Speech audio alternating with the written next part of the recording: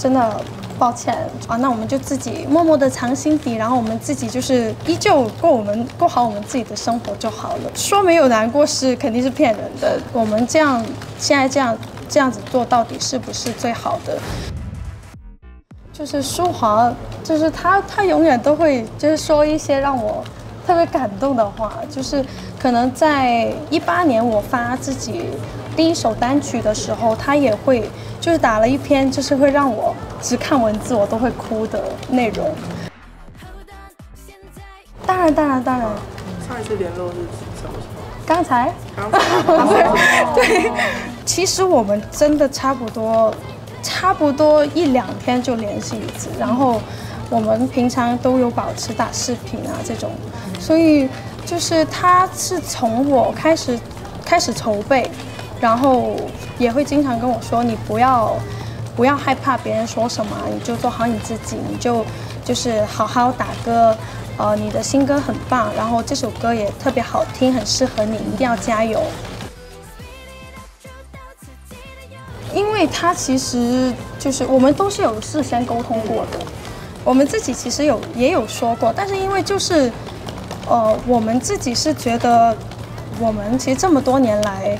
也很喜欢，就是觉得女孩子之间的友谊就是很美好啊。但是，就是可能一些外界或是粉丝朋友们会，哦，有一些过多的关心。就我觉得有些时候会让我们自己也不知道到底哪一些可以发，哪一些不可以发。然后可能就是就是我们自己的公司可能也就是会比较困扰一点。然后我们想说，啊，那我们就自己默默的藏心底，然后我们自己就是。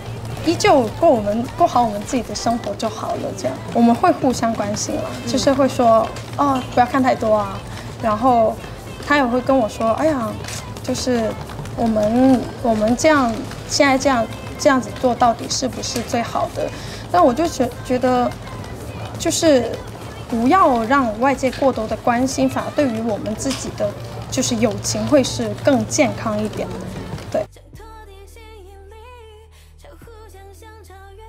这首歌的话，我希望就是宣传期可能会放长一点，然后让更多的人去听到我的这一首歌。因为我觉得，就是本身我是其实为了夏天而写的，但其实我觉得听久了，呃，这首歌在任何时候听，都会觉得是一首充满充满力量的。它可能不分季节都可以听。然后我也希望说，呃，因为整个华语圈都可以。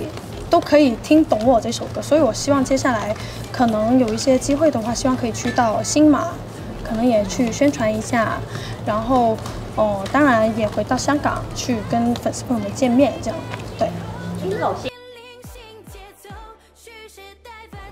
首先他们的意见是好难唱，他们会说不愧是你，但是就是朋友们之间嘛，就是就是这样互相鼓励了。